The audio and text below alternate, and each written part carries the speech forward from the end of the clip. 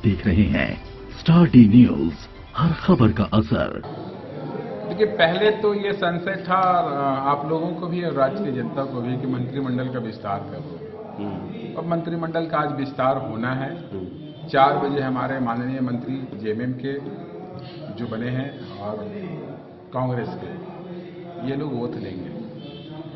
आपका सवाल है कि दो मंत्री अभी मंत्रिमंडल का विस्तार हो जाने दीजिए। फिर देखते हैं आगे क्या होता है वो भी जानकारी बहुत जल्द आप लोगों को तो विभाग भी आज दे दिया जाएगा।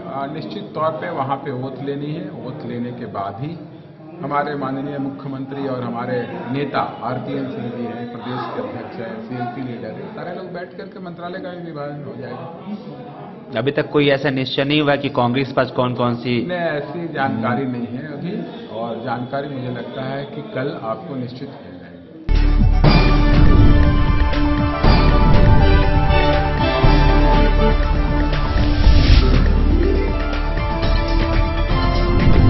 आप देख रहे हैं स्टार डी न्यूज़ हर खबर का असर।